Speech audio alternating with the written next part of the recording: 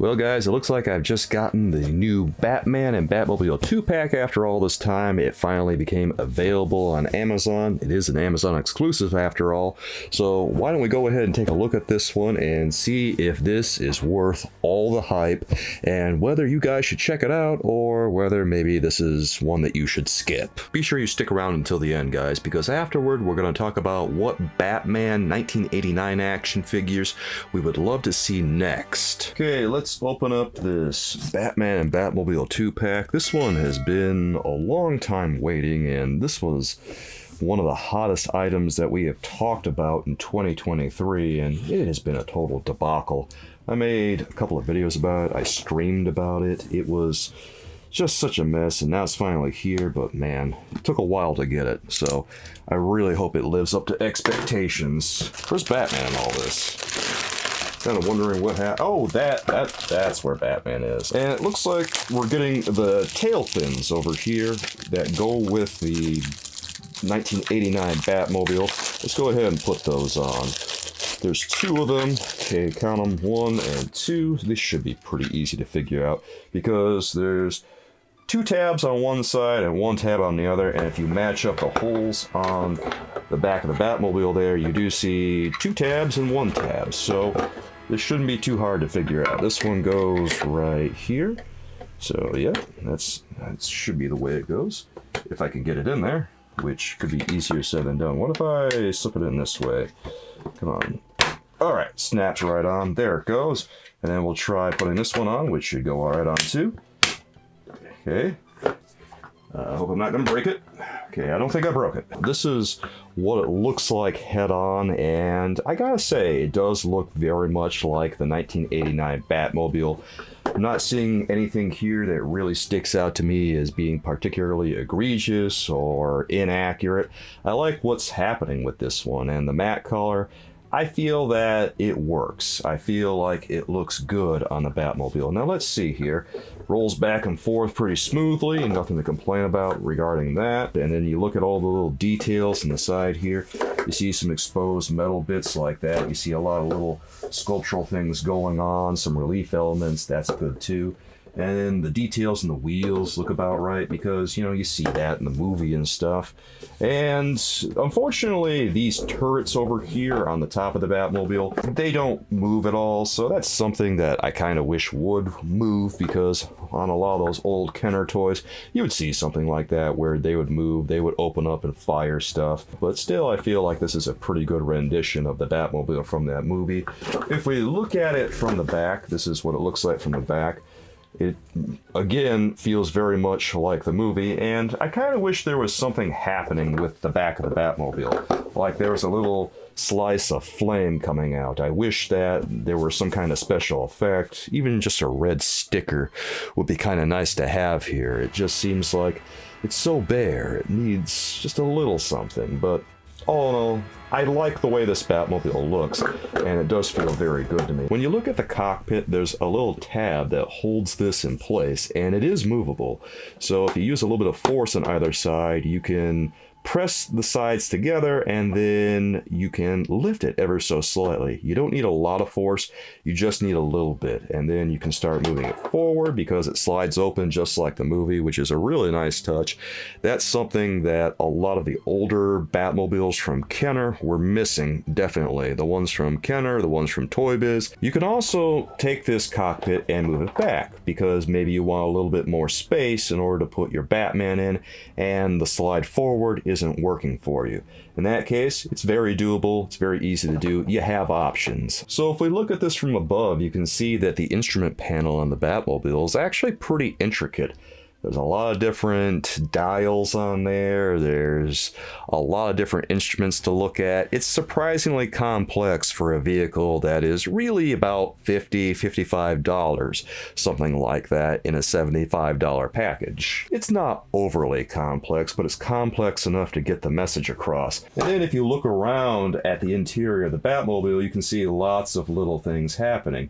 You can see the way that the texture comes on the seat and you can see some little panels and instruments next to it. It is a surprisingly intricate cockpit here, driver's seat, at this price point. And I kind of love it. It's it's really really nice. It's very nicely made. Obviously, the major drawback on this one is that it only seats one action figure. And you have to decide whether or not it's important to you that you have two action figures in the same Batmobile. If that's a deal breaker for you, you might not be very happy with this one, but if it's not that big of a deal to you that you only get one seat for an action figure, then obviously this one's going to be a pretty good deal, right? There is quite a bit going on. There is a lot of work that went into this one, and the level of detail that we're seeing, the level of handiwork is extremely cool to see.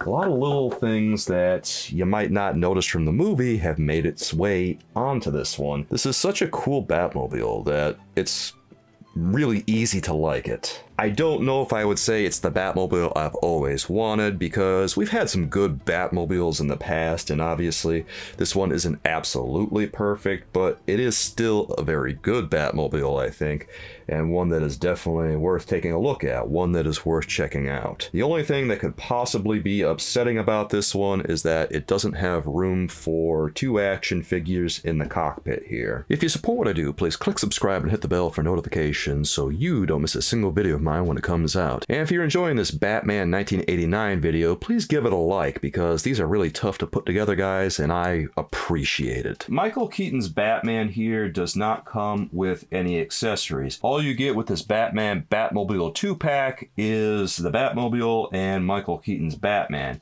Fortunately, Michael Keaton's Batman does look like a pretty nice action figure overall. I think it captures a lot of the details that we expect to see from the movie.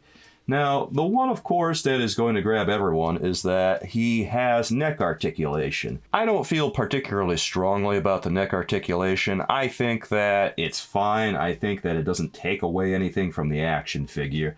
So I guess you have to use your judgment on that. The sculpting on this one is extremely nice. The sculpt looks pretty much dead on like Michael Keaton's Batman. I'm not seeing anything here that stands out to me as being inaccurate.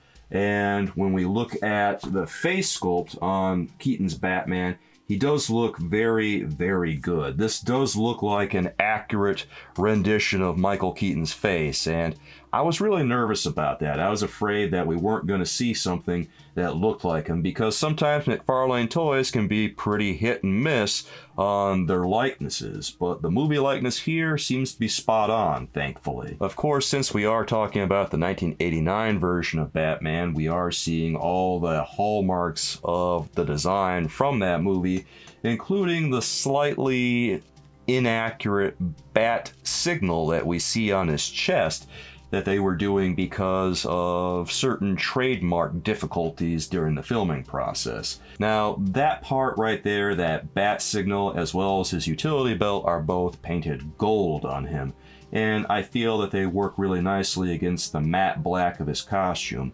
Much like the Batmobile, Batman himself, Michael Keaton's Batman, is painted matte black. If you look at the sculpt on this one, you can see it's got the molded abs like we saw in the movie back then. It's also got folds going across the leathery textures of his gauntlets, and that looks cool.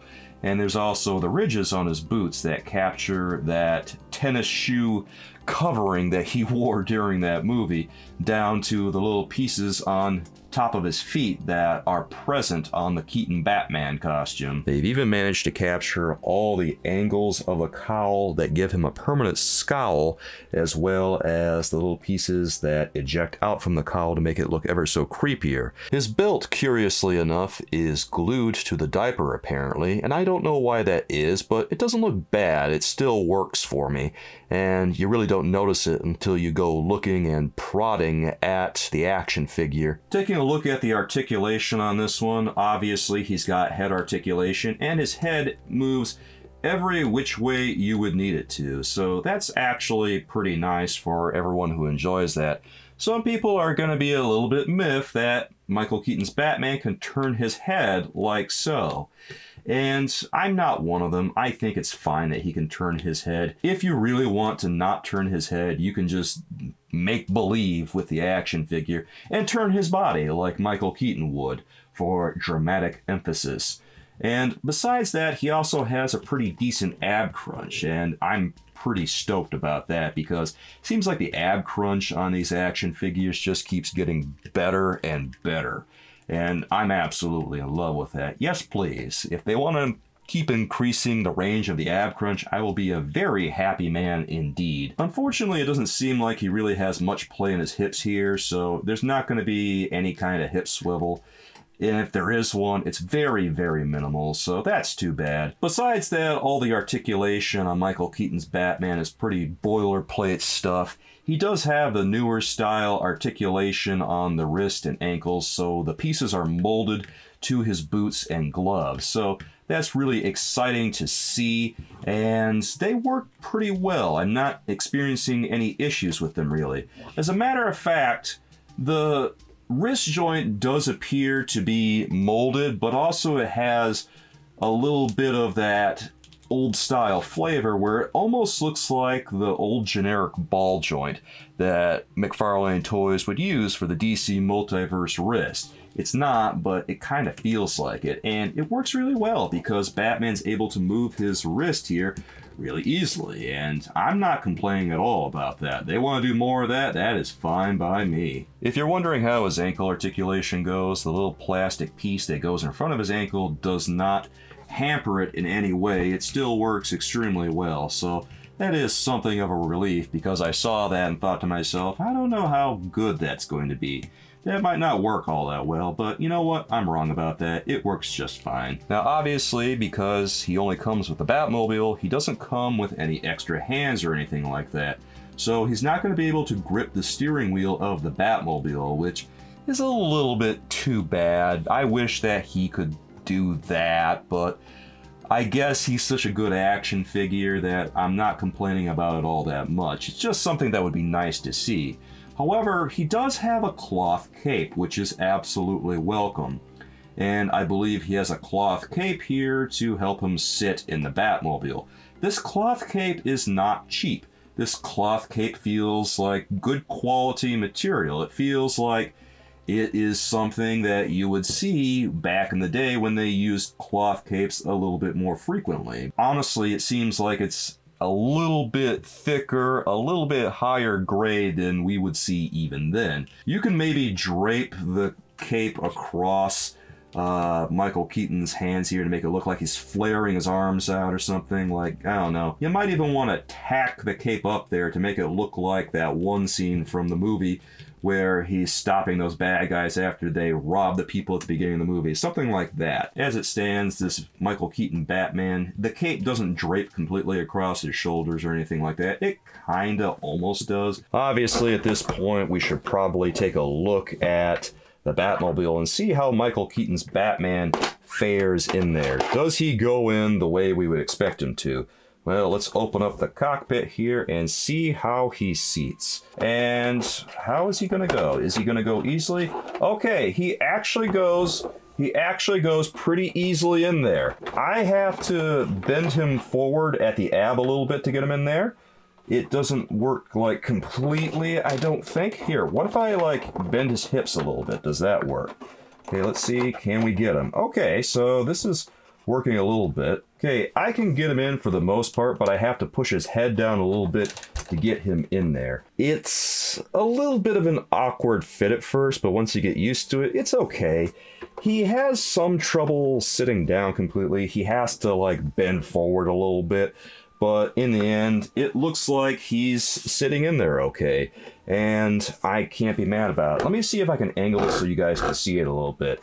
Okay, that's what it looks like when he's sitting down, right? And you can use your best judgment on this one, but it does look a little bit awkward when he's sitting in there, right?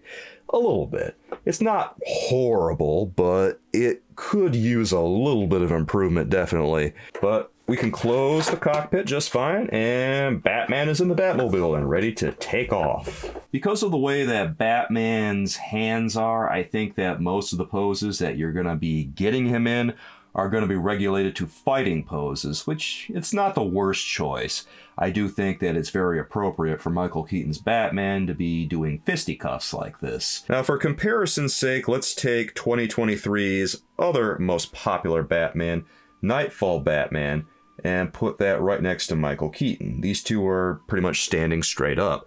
And one thing to keep in mind about Michael Keaton is that he's not a terribly large man. He's about 5 foot 9 or was about 5 foot 9 in 1989.